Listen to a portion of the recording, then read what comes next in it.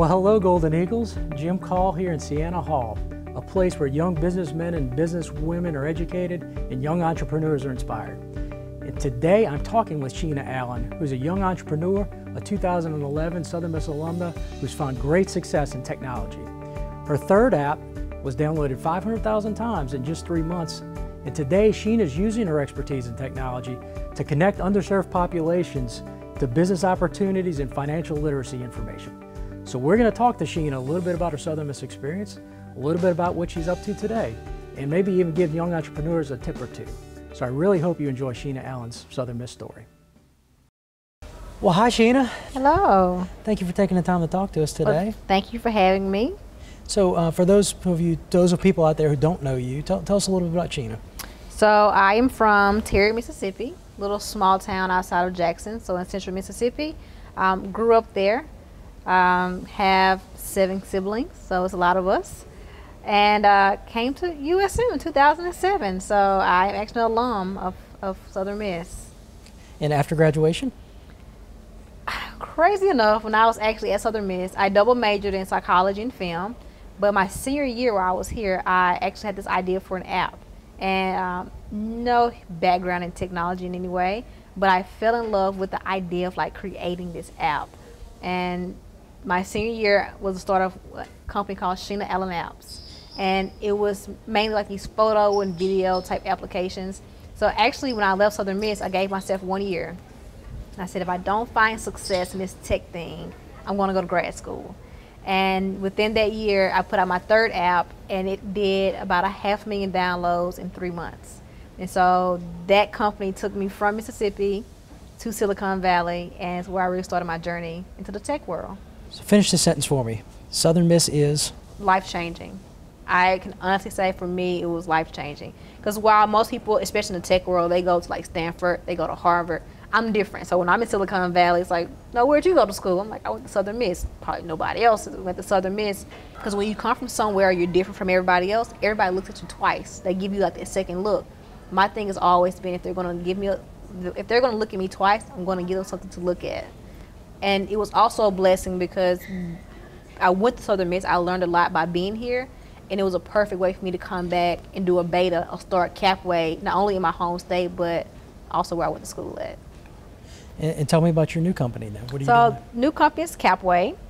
Um, and Capway is a financial technology company, and we focus on the financial health um, of people who are underserved or not certain about what's going to happen in their financial future. And so the, it's mobile first. And so we call ourselves a two-sided coin. So one side is financial education, and we do everything from like uh, daily content of like very short videos, articles, money facts, and then we also do programs. And those programs are with partnerships. I mean, through partners. And those partnerships include schools, other financial institutions, uh, employers, and then community-based organizations. The other side of the app is more so about financial services. And that's where we allow you to either link an account if you have an existing account if you're unbanked, we allow you to create an account within the Capway application. And ultimately what our app does is through machine learning, it's a machine learning algorithm, we take your financial literacy along with your financial behavior and your financial data, and we create a financial health score for you. And with that score, we work with you to really increase your financial health, whether that's through getting an asset, you know, pulling you away from stuff that your wants versus your needs, um, and so the app is truly about increasing the financial health um, of people who, you know, are using like payday lenders, check cashing, really participating in the predatory economy, or just looking for a better way to get out of, you know, going to overdraft fees or so many bank fees. Uh, it's just once again increasing their financial health. So I, have heard you speak about this topic before. That's led you to this app. Mm-hmm. Can you talk to me a little bit about your passion for this? Uh, I get the sense that it's not just an app for right. you. It's it's very purpose driven and very. Oh, it's a question. passion of yours. Tell, tell me about why that is. Um, you know, I, I started this social impact company. We're for profit, so we're not a nonprofit. We are for profit. But I started this social impact company because it was something that was close, really close to me. It was kind of personal. So growing up, um, a lot of my family are considered low income. You know, they live in trailers and They've used check cash in places and payday lenders. So growing up, I knew that world very well of people being unbanked, underbanked, you know, living paycheck to paycheck.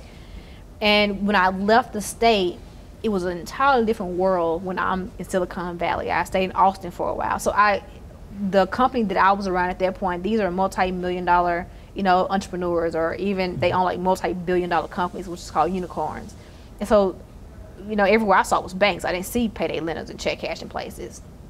But I remember coming back home to Mississippi to visit family for you know the holidays, and I noticed that my friends and my family and people in my community they were still going to check cashing places, and they were still cashing checks at the grocery store and I, I've seen technology just disrupt or change industries for the better.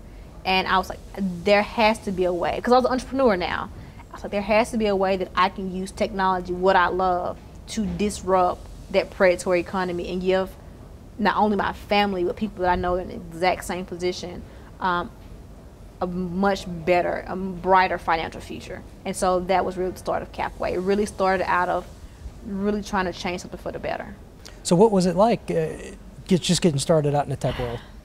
It was expensive when I got to Silicon Valley, that's for sure. Um, but even when I first started, I didn't know much at all. Um, unfortunately, at the time, Mississippi didn't have any form of like infrastructure for technology, so I couldn't go to like some tech company and say, "Hey, can I intern for you?" or "Can I work here for a while?" Because there was nothing like it in the state, and so that was, it was kind of difficult because I feel like I didn't have anybody that could help me. Um, so I learned a lot through trial and error. But I will say that all those lessons through trial and error actually helped me in the long run. So, what do you hope the end of the journey is for you? What, how are you going to measure success of Capway? You know, I, I, I get asked that question a lot, and I I always say that I don't, I never define. As long as I'm living, I will never define anything honestly as success. I honestly I measure it almost like I, I achieved a milestone. I think success to me equates to my legacy. And honestly, people can say what they want their legacy to be, but you really don't know until you're gone. So I make sure that I'm hitting milestones, I'm doing things that once I'm gone and once that legacy is there, people look back and say she was successful, like she did A, B, and C. I mean, I won't know what it is, but I'm doing the groundwork now that I'm hoping that I, whatever is said is, is positive. What do you hope people will say? that she definitely changed a lot of things for the better. Um, there are 3 billion people in this world who do not have access to traditional banking alone. Um, will I be able to touch all 3 billion? No. But just to be able to change the lives of the next generation uh, when it comes to their financial future would be huge. And it's not even just the financial piece. Um, helping people get into being an entrepreneur or facing their fears, or even my first company, um, which is more like a arts because one of my majors was, was film. So um, mindset, you know, my my my thing for me is mindset. If I can change somebody's mindset for the better, to me, that's I did a good job. What um, what advice would you give young entrepreneurs, maybe that are just getting into the tech world? It's uh, two things. Um, I always find mentors mentors are huge to the journey. I, I think I, I took 10 leaps forward when I finally started getting mentors. But at the same time, all advice is not the best advice. And sometimes you got to kind of go with that, they call the gut feeling. Um, and fear, I think a lot of people have this issue with fear. It's like, oh, do I quit my job? Should I start it? It probably won't work. Somebody probably told me it was a dumb idea. The first step is usually the hardest, but it's without question the most rewarding. And it's, I mean, the entrepreneur journey in general is, it's not easy. I think if it was easy, everybody would do it. Um, there's a reason that most people have a nine to five versus being an entrepreneur. Sometimes you don't know where your next meal is coming from. I don't know where my next dollar is coming from, especially in those early days. But if you are truly passionate about it, all the hardships, all those lonely nights and the sacrifices, it's well worth it at the end of the journey. Well, thank you so much for taking the time to talk thank to us today. Thank you. Thank you. And, and I always like to conclude the interview with Southern Miss. To the top.